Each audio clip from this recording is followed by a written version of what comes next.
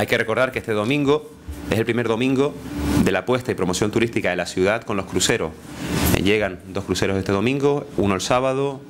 y dos cruceros el 3 de octubre, que refuerzan esta actividad comercial con afluencia de turistas cruceristas. Hay que recordar, hay que, hay que, recordar que eh, esta ciudad, junto con la autoridad portuaria,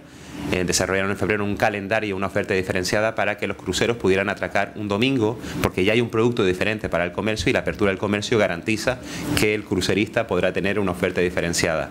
Estas negociaciones desde alcaldía y el concejal de turismo con autoridad portuaria en los congresos internacionales de captación de cruceros han hecho posible que en la temporada de invierno pues los primeros domingos de cada mes atracarán uno o varios cruceros dependiendo del tráfico portuario.